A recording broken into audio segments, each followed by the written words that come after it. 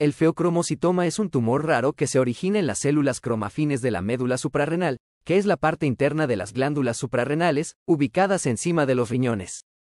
Este tipo de tumor produce una cantidad excesiva de hormonas como la adrenalina y la noradrenalina, que son responsables de la regulación de diversas funciones del sistema cardiovascular y del metabolismo.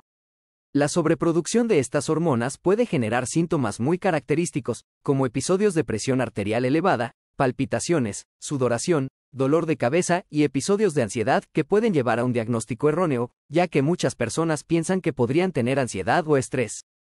La incidencia del feocromocitoma es baja, pública en un rango de 2 a 8 casos por cada millón de personas al año, aunque puede ser más prevalente en ciertos grupos con antecedentes familiares. En muchas ocasiones, el feocromocitoma se presenta como un tumor único, pero en algunos pacientes puede haber múltiples tumores, afectando ambos lados de las glándulas suprarrenales. Además, este tumor puede estar asociado con ciertos síndromes hereditarios, como el síndrome de neoplasia endocrina múltiple tipo 2 y la neurofibromatosis tipo 1, por lo que es importante realizar una evaluación genética si hay antecedentes familiares.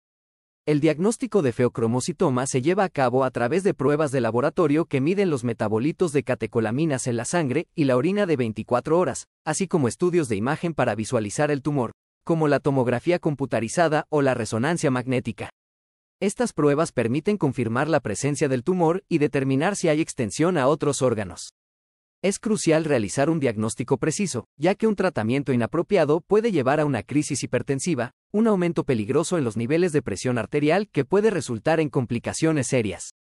El tratamiento para el feocromocitoma generalmente implica la extirpación quirúrgica del tumor.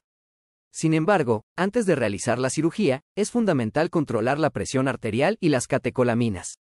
Esto se puede lograr utilizando medicamentos antihipertensivos que bloquean la acción de las hormonas producidas por el tumor.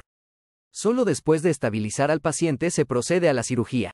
En casos en los que no es posible realizar la cirugía, ya sea por la localización del tumor o porque hay metástasis, el tratamiento puede incluir medicamentos para controlar los síntomas o terapias dirigidas para reducir el tamaño del tumor.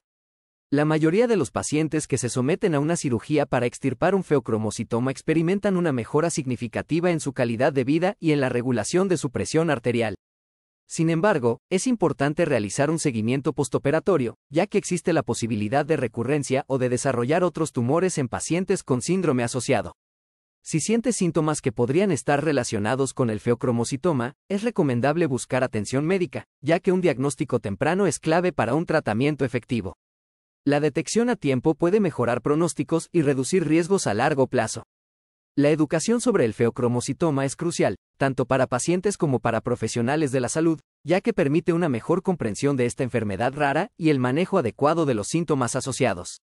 Siempre es importante confiar en la opinión de profesionales de la salud al abordar cualquier inquietud o síntoma inusual que uno pueda experimentar. Recuerda que la salud es una prioridad y estar informado es el primer paso para cuidarla.